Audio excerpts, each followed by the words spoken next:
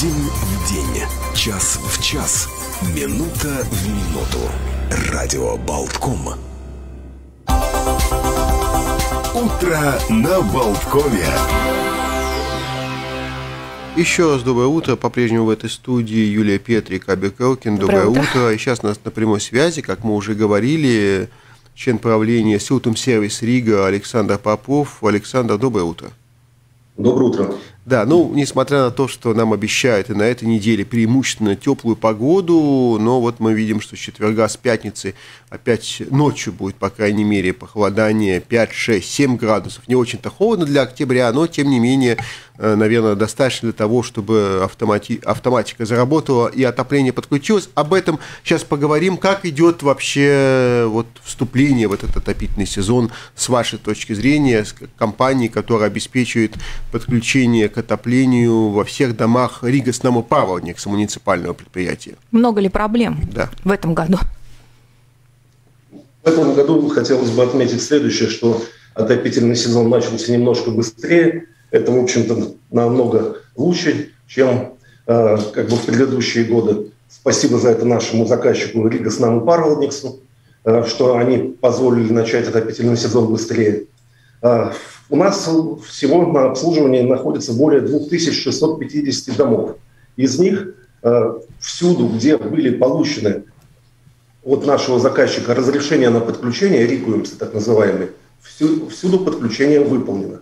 Да, существуют какие-то проблемные дома, в которых ну, как бы отопление не запустилось сразу. Ну, таких э, домов я бы, я бы оценил их э, порядка 60-70 штук на весь город.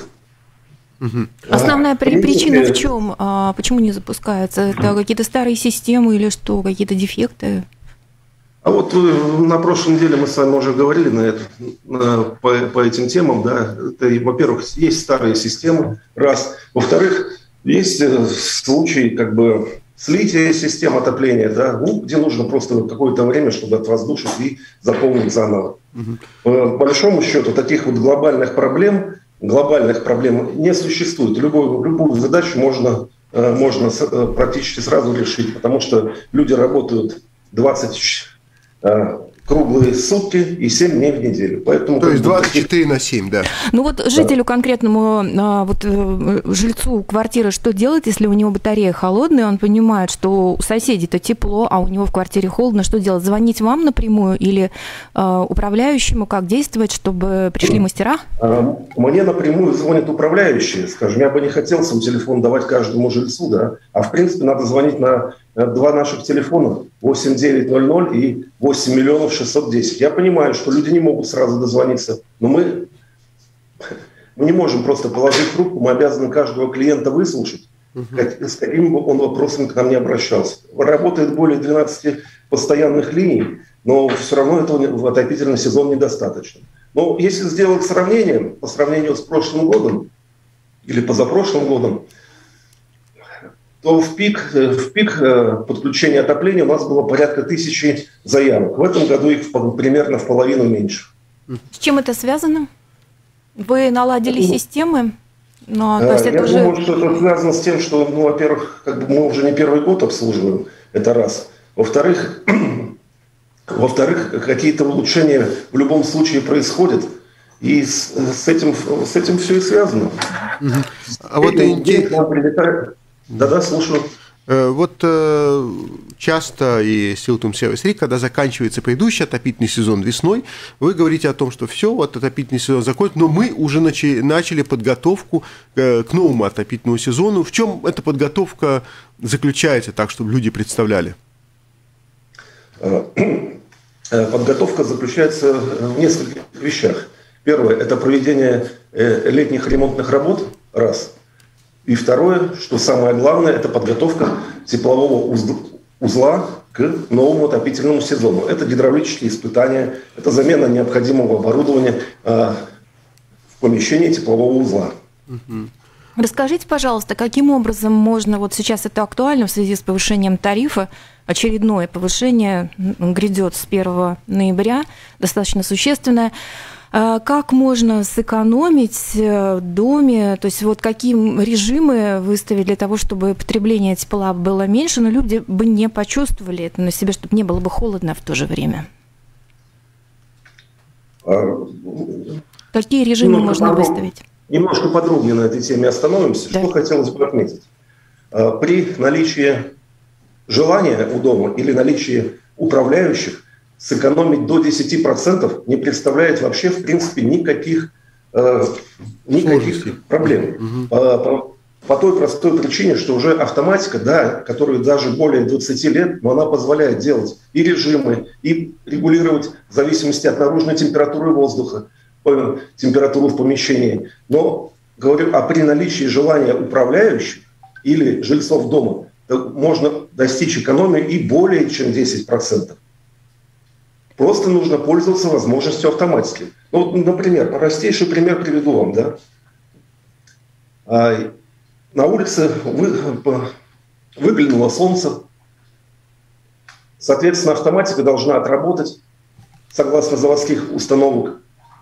Но у нас бабушки, допустим, или дедушки, которые подходят к радиатору и, и трогают его рукой, говорят, а он у нас холодный, у нас нет отопления. Хотя сама автоматика должна его отрегулировать, допустим, до плюс 15, плюс 20 градусов. А нет, наши люди хотят, чтобы у нас был 30, 35 градусов в радиаторе, минимальная температура, несмотря на то, что на, на улице солнце. Угу. Ну, то есть фактически нужно понимать нюансы, да? Да. Ну, регуляция существует. А, тогда а, какой должна быть температура внутри помещения, норма, да, то есть она же существует, по сути. Вы Комфортная, как, да, да, да, говорили, что это не должно быть 26 градусов. Сколько? А, норма, норма, конечно же, существует. Э, в зависимости от общественных, э, общественных мест, жилых помещений, допустим, от плюс 18 а дальше по желанию заказчика. То есть можно, да, достичь того, чтобы, если кому-то нравится, чтобы было очень тепло, можно и 25, и 26, и 27 градусов? Но за ну, это надо платить. Э, в данном случае только при согласии э, собственников квартир. Да, вот э, что касается каких-то проблем, которые возникают, вот в принципе сколько времени нужно на то, чтобы устранить вот, ну, ту или иную неисправность? Я, я так понимаю, что бывают ситуации, когда просто ваши мастера, ну, их не допускают, нет, э, там, все перекрыто, закрыто, нет возможности даже вот э, попасть вот к месту, где вот какие-то возникли неполадки. Да, это, очень существенная проблема. А, я назову так в общих цифрах. Если в среднем в день прилетает на весь город порядка 240 заявок, то процентов 20-25 нельзя решить только из-за того, что отсутствует доступ к коммуникациям. У кого-то кафель, у кого-то нужно кухню снимать, у кого-то еще какие-то вещи. Порядка 20-25% это вот связано с доступом к коммуникациям. Это в конкретных квартирах? В конкретных квартирах. А, тогда расскажите, пожалуйста, вот какие бывают ситуации, когда бывает, что в квартире действительно холодной батареи по причине того, что а, соседи установили лишнее количество радиаторов. Вот какая здесь взаимосвязь, то есть насколько мы друг от друга зависим а, по, скажем так, по стояку, по этажам, а, какие вот существуют нарушения и как их устранять? Спасибо за вопрос. Я по нему попробую даже с конкретным примером ответить. Улица Равнос, не будем называть номер дома, да, в боковых квартирах температура плюс 17, плюс 18, а в, температу... а в квартире, которая находится по центру дома, температура плюс 25. И вечные жалобы о том, что мне жарко. Когда начали разбираться с этим вопросом, то выяснилось следующее. На комнату, где необходимо 5 секций чугунных батарей, было установлено 20. И женщина 20. постоянно жалуется, потому что ей действительно жарко. А если мы опускаем температуру, тогда боковые квартиры мерзнут. Вот, вот это прямая зависимость, как говорится. Потому что в многоквартирных домах у нас нет горизонтальной разводки. Мы все связаны друг с другом. Э, может ли быть сложиться ситуация, не знаю, в будущем при развитии технологий, когда все-таки каким-то образом э, можно будет вот регулировать, чтобы не было э, вот такой ситуации? Или все равно это горизонтальная разводка в советских домах, тут уже ничего не сделаешь? То есть индивидуальный установить регуляторы невозможно в каждой квартире, или это можно технически? Технически можно сделать все, что э, что необходимо. Но просто когда у нас люди устанавливают это, надо, во-первых, чтобы соблюдались требования проектировщика, а не каждый думал, э, как он хочет. Заужают диаметр, ставят регуляторы. На улице Ериков был конкретный случай. Одна бабуля говорит о том, что ей постоянно жарко, и она закрывает закрывает свой регулятор. Закрыв регулятор, она закрывает сос, своей соседке снизу все отопление. Та же жалуется, что постоянно холодно. А когда стали проверять, оказалось, не была построена перемычка. Ну, таких случаев очень много. Э, существуют технические решения по переделыванию этих систем, ну, современные системы. Но это просто затраты, все можно сделать. Можно и учет наладить, можно и все что угодно сделать. Ага. Что касается учета, видимо, я так понимаю, во многих домах уже это внедрена система удаленного доступа. Что это такое, буквально в нескольких словах объясните? А, про систему удаленного доступа хотел бы ну, тоже чуть подробнее остановиться. Да. За прошедшие годы, что мы обслуживаем дома Снаму Парвалница, у нас установлена система не только удаленного доступа и удаленного управления практически во всех домах города Риги, которые мы обслуживаем. Эта система позволяет нам, во-первых, контролировать ситуацию, что в каком доме происходит. Во-вторых, регулировать, поднять температуру. Вот если вы ко мне бы позвонили бы к какому-нибудь адресу, я бы попросил бы поднять температуру и опустить. То есть это все реально на сегодняшний день. И эта система позволяет экономить еще и деньги жильцов. Мы ее установили за свой счет. И как бы, если мы видим о том, что где-нибудь идет перетоп или еще что-нибудь, мы можем сразу удаленно поправить, а не специально ехать туда на объект и там на месте решать вопрос. Это просто экономит время и средства. Угу. В дальнейшем, вероятно, как одно еще из технических решений, это, ну, это на перспективу, пока эта идея обсуждается, насколько она узаконена, пока еще, ну, пока это идея от Министерства экономики о том, чтобы а, в дальнейшем установить индивидуальные счетчики учета тепла в каждой квартире. Но это как по принципу счетчиков воды. Скорее всего, в дальнейшем мы будем именно таким образом расплачиваться за потребленное тепло. Ну, это в будущем, это да? Это в будущем, да. Ну, как бы к слову. Ну, что хотелось бы сказать. Тут не надо и иметь никаких радужных иллюзий по поводу того, что можно поставить в многоквартирных домах учет тепла. Потому что если вы поговорите со специалистами про аллокаторы, про, про остальные вещи, это все достаточно условно. Нужно или делать нормальную систему горизонтальную, как в современных домах, с индивидуальным учетом, а все остальное это Понятно. химия. Э, получается, по большому счету, тот, кто поставил себе локаторы и типа платит по локаторам, они экономят. А кто же учитывает тогда потери по, э, допустим, по лестничным клеткам, по нижней разводке, по верхним разводке? Кто это учитывает? То есть остальные жильцы платят за тех, у кого установлены аллокаторы. Это надувательство. Угу. Да, вот интересно, вы сказали очень важную вещь, наверное, для людей, которые далеки вот от таких технических вопросов, очень удивились. Вот э, что касается новых домов, что там вот действительно новое, вот вы сказали, что индивидуальные все-таки счетчики там тепла, это изначально, как, в чем там э, нюанс? Э, если говорить про систему отопления, то в современных домах, которые сейчас строятся, применяют горизонтальную систему. Это что значит? Это по принципу, как вы только что назвали, по принципу холодной и горячей воды. В каждую квартиру входит индивидуальная подача отопления, и сколько человек потребил, столько именно и учитывается. Учет – это дело очень важно. Я вам приведу пример э, про свой дом. У нас тоже достаточно современный дом. Ему там чуть более 15 лет. И при одинаковых площадях квартиры в одном подъезде, где, где я живу, да, у нас установлен полностью учет и тепла, и холодной воды с удаленным считыванием. И точно такие же площади, ну, дом это как бы как близнец, да, там в таких же квартирах, в других подъездах, так разница в счетах составляет до двух раз. Такая вот, разница. Не будем говорить только о том, что люди не вовремя сдают. Будем говорить, что они еще и лукавят с показаниями. А когда мы установили удаленный учет еще на каждый подъезд по воде, соответственно, сразу как-то корректнее стали показания сдаваться.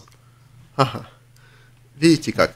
А, что касается вообще вот э, бригад, вот фактически завершая нашу беседу, э, нагрузки большие, да, вот на бригады Силтум Сервис Рига, которая выезжает, вот вы сказали, что в день 230 заявок, вот, э, то есть фактически действительно работа таком аварийном режиме 24 часа, да?